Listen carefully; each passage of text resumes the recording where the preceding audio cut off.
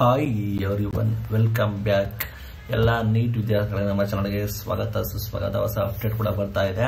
ಇಲ್ಲಿ ಏನಂದ್ರೆ ನೀಟ್ ಇರೋದಿಲ್ಲ. ವೈದ್ಯಕೀಯ ಶಿಕ್ಷಣ ಪ್ರವೇಶಕ್ಕೆ ಸಿಇಟಿನೇ ಫೈನಲ್ ಸಿಇಟಿ ಮೇಲೆ ನಿಮಗೆ ನೀಟ್ನ ನ ಸೀಟ್ನ ಕೊಡ್ತಾರೆ ಸಿಇಟಿನೇ ಫೈನಲ್ ಅಂತ ಮಾಹಿತಿ ಕೂಡ ಬರ್ತಾ ಇದೆ. ಈ ರೀತಿ ಒಂದು ಆರ್ಟಿಕಲ್ ಓದ್ದೆ ನೀಡಾಗಿ ತಿಳಿಸ್ಕೊಡ್ತೀನಿ ನೋಡಿ.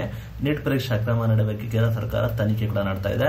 ಇದರ ನಡುವೆ ಸರ್ಕಾರ ಚಿಂತನೆ ಮಾಡಿದೆ. ಅಂದ್ರೆ ಕರ್ನಾಟಕ ಸರ್ಕಾರ ಈ ರೀತಿ ನೀಟ್ ರದ್ದುಗೊಳಿಸಿ, ಅಂದ್ರೆ ನೀಟ್ ಕ್ಯಾನ್ಸಲ್ ಮಾಡಿ, ಎಲ್ಲಿ ವೈದ್ಯಕೀಯ ಸೀಟ್ಗಳಿಗೆ ಏನ್ ಮಾಡಬೇಕು ಅಂತ ಇದ್ದಾರೆ ಅಂದ್ರೆ ಸಿಟಿ ಇದು, ಏನಿದೆ ಸಿಟಿ ಇದು, ಅದನ್ನೇ ಫೈನಲ್ ಮಾಡೋದಕ್ಕೆ ಸರ್ಕಾರ ಚಿಂತನೆ ಮಾಡಿದೆ.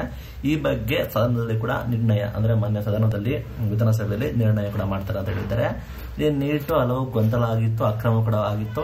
ಇದರಿಂದ ದಕ್ಷಿಣ ಭಾರತ, ನಮ್ಮ ಸೌತ್ ಭಾರತದ ವಿದ್ಯಾರ್ಥಿಗಳಿಗೆ ಸಮಸ್ಯೆ ಆಗುತ್ತೆ. ಇದರಿಂದ ಮೆರಿಟ್ ಇರಕೊಂಡ ಸೀಟ್ ಸಿಗೋದಿಲ್ಲ. ಇದರಿಂದ ವಂಚಿತರಾಗ್ತದೆ ಅಂತ ಹೇಳಿ ಸರ್ಕಾರ ವರದಿ ಮಾಡಿತ್ತು. ಈಗಾಗಲೇ ತಮಿಳುನಾಡಲ್ಲಿ ಕೂಡ ಇದೇ ರೀತಿ ರದ್ದು ಮಾಡೋದಕ್ಕೆ ನಿರ್ಣಯ ತೆಗೆದುಕೊಂಡಿದ್ದಾರೆ. ಇದೇ ಮಾದರಿಯಲ್ಲಿ ನೀಟ್ ರದ್ದುಗೊಳಿಸಿ ಮುಂದಿನ ದಿನಗಳಲ್ಲಿ ಸಿಇಟಿ ಪರೀಕ್ಷೆ ನಡೆಸಲು ತೀರ್ಮಾನ ಮಾಡಲಾಗಿದೆ ಅಂತ ಹೇಳಿ ಮಾಹಿತಿ ಬಂದಿದೆ. ಈಗಾಗಲೇ ಬಹುತೇಕ ಸಚಿವರು ಸರ್ಕಾರದ ನಡೆಯನ್ನು ಒಪ್ಪಿಕೊಂಡಿದ್ದಾರೆ.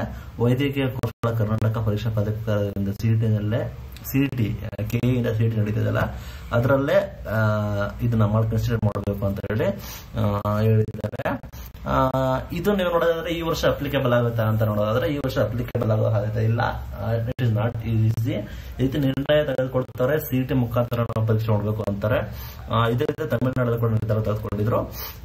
ಇದು ನಿಮಗೆ ಗೊತ್ತಿರೋ ಹಾಗೆ ಇದು ಎಸ್ಪೆಷಲ್ ಬಂದ್ಬಿಟ್ಟು ಕೋರ್ಟ್ಗೆ ಹೋಗುತ್ತೆ. ಈ ರೀತಿ ನೀವು ವಿತೌಟ್ ನೀಟ್ ನೀವು ಸಿಇಟಿ ಮುಖಾಂತರ ಸೀಟ್ನ ಕೊಡ್ತೀವಿ ಸಿಟಿ ಮುಖಾಂತರ ಸೀಟ್ ಮಾಡ್ತೀವಿ ಅಂದ್ರೆ ಇಟ್ ಇಸ್ ನಾಟ್ ಇಂಪಾಸಿಬಲ್ ಅಂತ ಇಷ್ಟಪಡ್ತೀನಿ. ಈ ರೀತಿ ತೀರ್ಮಾನ ಕೈಗೊಂಡಿದ್ದಾರೆ. ಇದು ಬಹುಶಃ ಈ ವರ್ಷ ಅಪ್ಲಿಕೇಬಲ್ ಆಗೋಕೆ ಇಲ್ಲ ಅನ್ಕೋತೀನಿ. ನೋಡೋಣ, ಕಾಯ್ದು ನೋಡೋಣ, ಏನಾದರೂ ಬೆಳವಣಿಗೆ ಆದರೆ ನಿಮಗೆ, ಅದ್ರ ಬಗ್ಗೆ ನಾನು ಮಾಹಿತಿ ಕೊಡ್ತೀನಿ. ಈ ಮಾಹಿತಿ ಬರ್ತಾ ಇದೆ. ತಮಿಳುನಾಡು ಯಾವ ರೀತಿ ನಿರ್ಧಾರ ನೋಡಿದೆ ಅದೇ ಮಾದರಿಯಲ್ಲಿ ಕರ್ನಾಟಕ ಕೂಡ ಸಿಟಿ ಮುಖಾಂತರ ನಾವು ಕೌನ್ಸಿಲಿಂಗ್ ಮಾಡ್ತೀವಿ ಅಂತ ಹೇಳಿದರೆ ಬಹುಶಃ ಇದು ನೆಕ್ಸ್ಟ್ ವರ್ಷದಿಂದ ಆಗ್ಬೋದು. ಬಟ್ ಇದಕ್ಕೆ ಮಾನ್ಯತೆ ಕೊಡಬೇಕು. ಸುಪ್ರೀಂ ಕೋರ್ಟ್ ಮಾನ್ಯತೆ ಕೊಡೋದಾದ್ರೆ ಇದು ಆಗುವ ಸಾಧ್ಯತೆ ತೀರಾ ಕಡಿಮೆ. ಇಷ್ಟಪಡ್ತೀನಿ. ಇದು ಇವತ್ತಿನ ವಿಡಿಯೋ ಥ್ಯಾಂಕ್ ಯು